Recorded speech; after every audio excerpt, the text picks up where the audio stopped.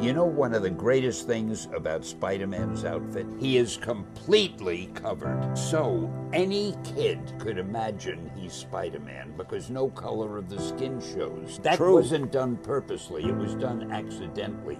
But I think it was the best thing we did. We could belong to any race, making him so that he could be anybody under that costume.